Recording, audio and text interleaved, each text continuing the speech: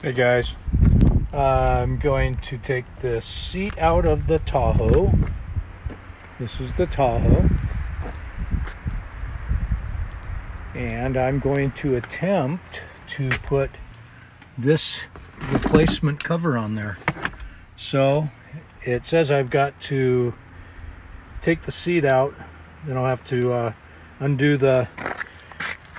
Uh, there's one on each side there they're these strange looking uh, nuts, but these a 5 8 or a 9 16 standard socket with a six point like these. And then I go to a metric and go to something like 11 in the back or 12 anyways I've tested them on there. They do loosen them up. And then there's a bunch of wiring under here. So I'm going to go ahead and take this out and then I'll bring you guys back when I get it into the garage and start to disassemble the seat. All right.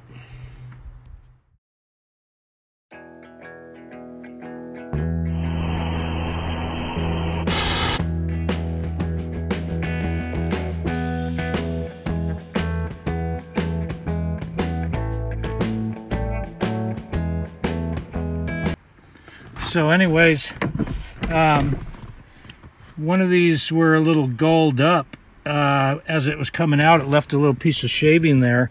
As you can see, it goes through to the ground. Uh, but I think it'll be fine. I'll put some no-sees on that. There's a little wobbly washer on this post. And oh, I was going to tell you guys, uh, 7 16 took the back out and a 5 8 in the front. So I was able to use American. Uh, GM was easy on me on this one. Just got this little pin. Can take this guy out of here like that, and then depress this this one. Slide this out, and uh, I don't know if I could do that one-handed. No, I have to take that out off camera, but then then I think the seat's out of here. All right, bring you back in a bit. Okay, so I got the seat out on the bench here now. I have one uh, nut that was captured in this hole here I couldn't get out. And then I put the seat all the way back so I couldn't get to it, so it's still there. It's only staying in this little piece I can get to when I go to put the seat back in. What I don't know if I, I guess I'll find out is should have I reclined the seat or brought the, uh, I guess the seat bottom up and down doesn't matter, but this reclining it may have gave me more room in the back of the seat bottom. So I, I know that uh, this is the seat bottom here, and this is the frame here. So I'll take these two out. Looks like down here, this will just slip up and out. I've got to figure out this wiring is going to stay with the seat. It's connected, so I'll disconnect, disconnect. Uh, there's a couple more over on this side, disconnect, disconnect. So let me get a little farther along here and then I'll bring you guys back. All right, so I had to take a couple of these little guys off. That one, that one. This harness here should go with the seat bottom. And so everything, I hope everything is disconnected. I got these two guys here coming off. Got this one and this one. Oops, that one still needs a little more.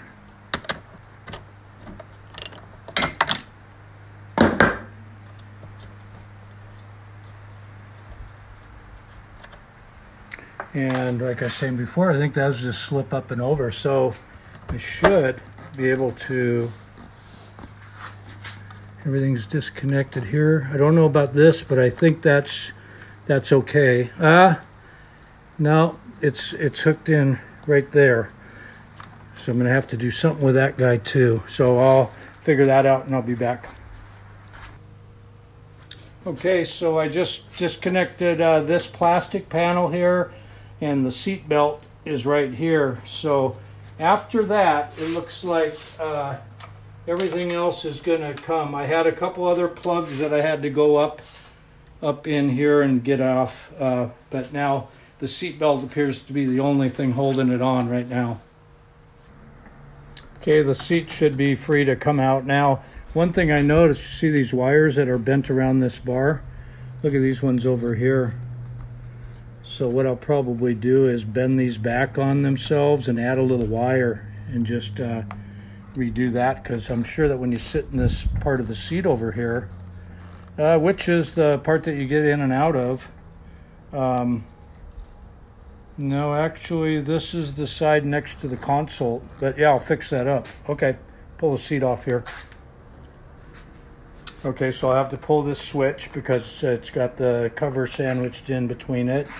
Um, you've got, I pulled the seat belt out with the uh, that label facing outwards, so I'll be able to push that back in later. I just made a mental note of that. There's these little clips like this that push out to hold this tight here. And there's another one over there. And uh, yeah, after I get the switch out, I'll just start pulling this. Uh, there's another one up here. It should just pull off. Okay.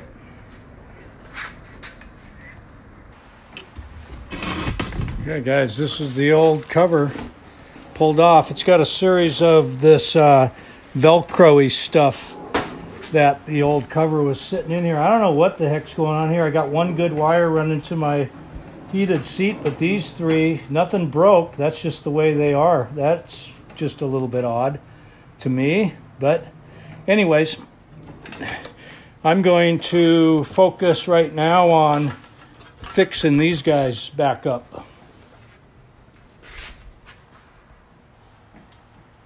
So I did a little uh, pulling this these wires tight around there with some welding rod, so that'll be a little stronger. I'll put the cover on now. All right, so I'm starting off by turning the cover inside out and pushing this Velcro down, pulling it tight and pushing it down into here to try to get this this fairly tight across here, and then I'll fold it over Okay guys, so the toughest part so far was this right here. Well, actually getting this this uh, plastic lip bent over here was quite a chore. It's easy over here because this just pulls in, but this has to be reversed on itself and pushed down. This, I just uh, cut it out and made sure I pulled all the extra through here on the other side of that switch. So that tucked it in tight over here and that turned out pretty nice. Okay guys, well that's the finished product. Is it perfect? No, it's not perfect, but is it better than it was before? It's definitely better than it was before. So I would say on these replacement seat covers, they fit pretty pretty doggone nice. I had to clean the back up a little bit because of course that's 22 years of wear there. I'll probably get it a little better with some leather cleaner, but uh, yeah, that's it, guys. Uh, all right, well, there's the cover, seat cover back in the Tahoe. Actually turned out pretty nice. And uh, yeah, so want to appreciate you guys for uh, watching the video. It's going to be too bad because I'm going to have to say goodbye to this uh, Tahoe after 20 one years.